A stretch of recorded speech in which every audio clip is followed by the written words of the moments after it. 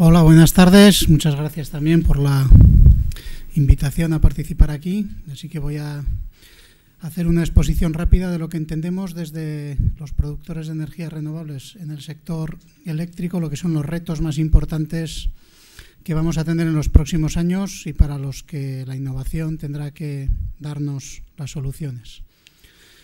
Eh, voy a pasar muy rápido por las primeras diapositivas que tienen que ver con el contexto energético, simplemente para explicar que eh, no tenemos ninguna duda de que las renovables van a tener un grado de integración dentro del marco de la electricidad eh, no solo creciente, sino que estamos seguros de que van a ser las que más van a crecer dentro de los distintos tipos de energía. La duda podrá ser en cuánto tiempo y en qué grado, pero es seguro que van a tener cada vez un papel más preponderante dentro del mix eléctrico eh, en todas las zonas, desde luego en Latinoamérica eh, sin duda.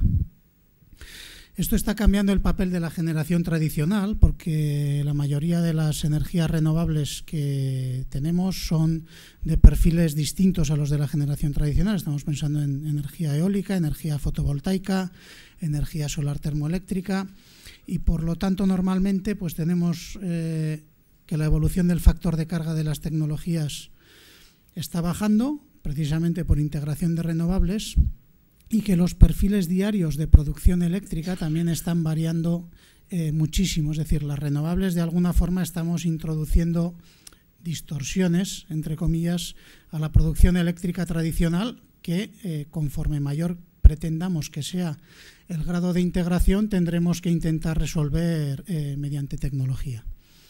Por lo tanto, nos enfrentamos, entendemos, a tres retos fundamentales para poder acometer esta mayor integración de renovables. La competitividad en costes, esto es la pescadilla que se muerde la cola, todos pretendemos y queremos que las renovables cada vez formen mayor parte del mix. Si son caras no lo podremos conseguir. Pero además tenemos otras necesidades, la fiabilidad en la predicción, se acabó aquello de decir, bueno, pues cuando sople viento produciré, cuando no sople no produciré y no me entero hasta última hora. Tenemos que ser capaces de saber con antelación eh, cuándo y cuánto voy a producir. Y la gestión de la variabilidad de intermitencia. Todavía, y se supone que no vamos a ser capaces ni de producir viento ni de producir sol, pero sí tendremos que ser capaces de mejorar eh, cómo gestionamos las variaciones fuertes de cuando hay viento a no lo hay, de cuando hay sol a no lo hay.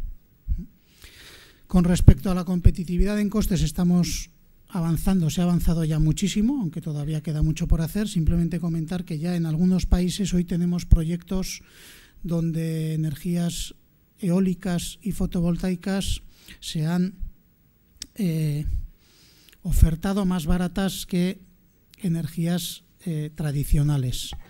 Esto todavía no es lo estándar, pero hace 10 años pensar que ni siquiera en un solo proyecto del mundo esto pudiera ocurrir era ciencia, ficción. Hoy empezamos a ser competitivos en muchas áreas, en muchas zonas. En México, por ejemplo, eh, ya lo estamos siendo en zonas de mucho viento y no nos cabe duda de que de aquí a los próximos 5 o 10 años, continuando por la senda de la reducción de costos, cada vez serán más emplazamientos los que hagan que las renovables sean competitivos frente a generación tradicional.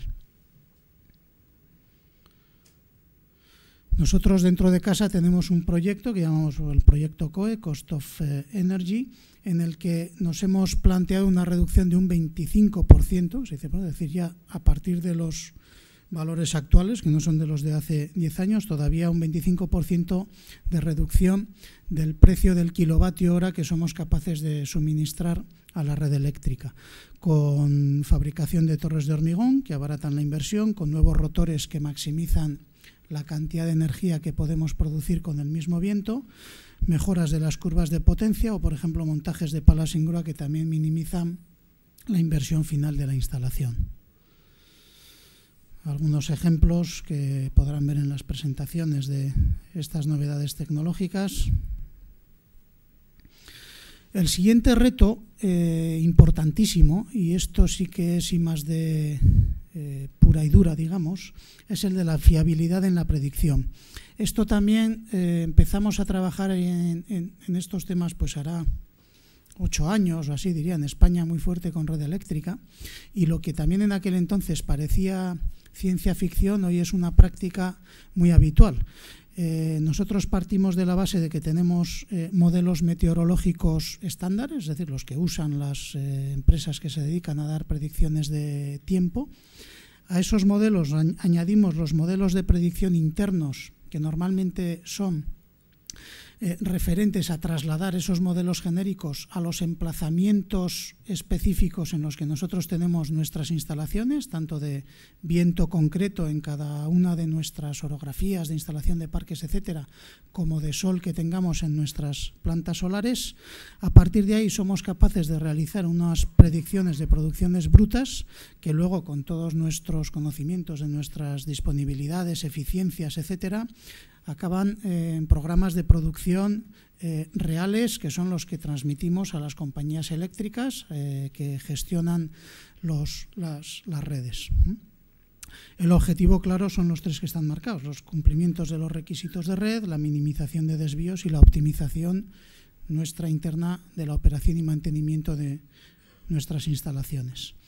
Los resultados eh, supongo que pueden llamar la atención a los no familiarizados con eh, estos temas, pero estamos teniendo en cualquier caso siempre resultados de fiabilidad de más del 90%. Insisto, hace ocho años pensar que tuviéramos perdón, fiabilidades del 50-60% en la predicción de la producción de un parque eólico era pensar que no lo íbamos a conseguir. Hoy estamos siempre por encima del 90% en nuestras fiabilidades de, predicción.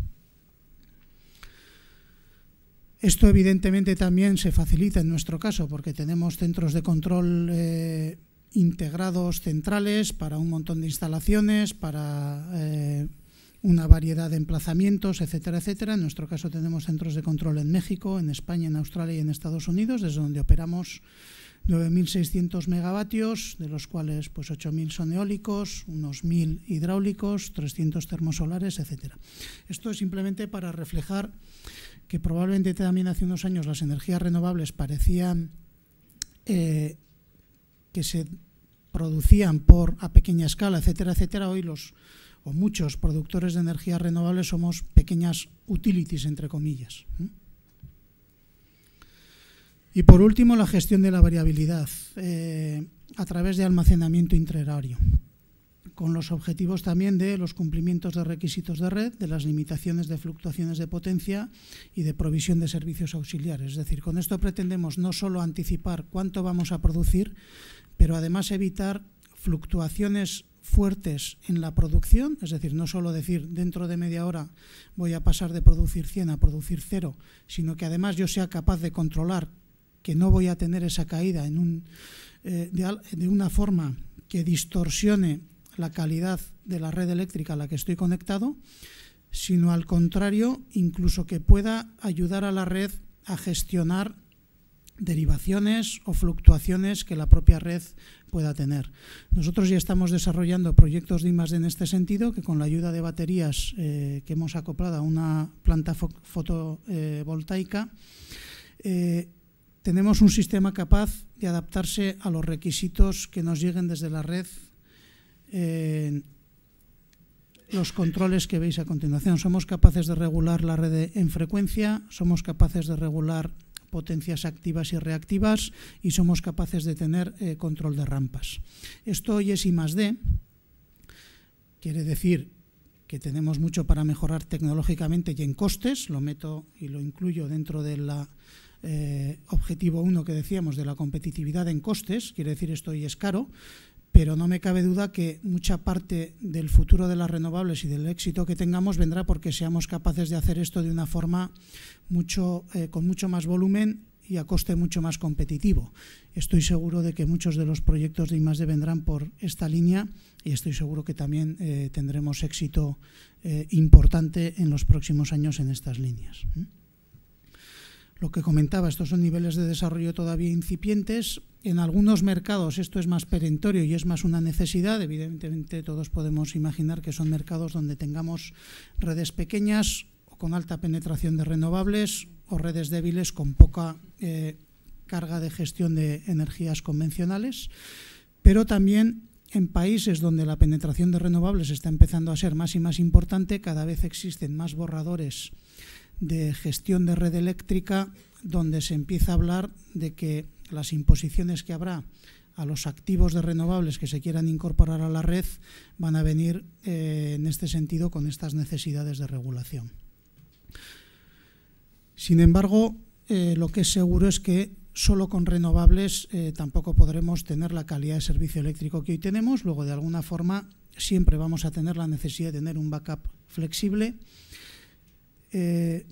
aquí pongo un ejemplo de lo que, y que también, como decíamos al principio, va a influir en lo que va a ser la producción de las centrales convencionales. A la izquierda tenemos un ejemplo de lo que es eh, una, en 2012, una producción diaria de electricidad. Eh, los picos amarillos que veis son la producción solar que hay en Alemania, que coinciden con las horas de máxima demanda.